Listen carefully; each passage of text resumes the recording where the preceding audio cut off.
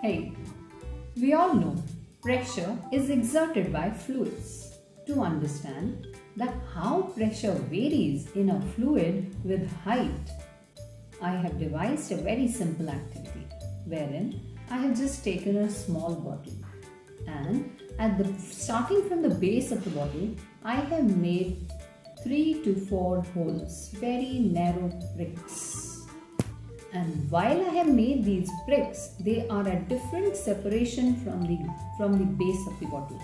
That means when I am going to pour in water in the bottle, water is going to come out due to the fluid pressure from each of the pricks. But we will see the range of water through each prick will be different.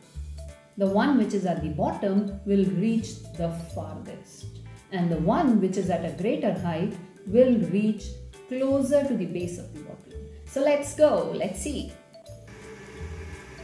So I open the bottle, start filling it with the fluid that is a simple plain water from the tap.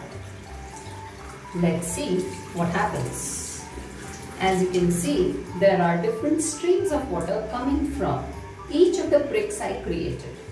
And this one that is at the base is covering the maximum range and one at the top is covering the minimum. Let me show you once more.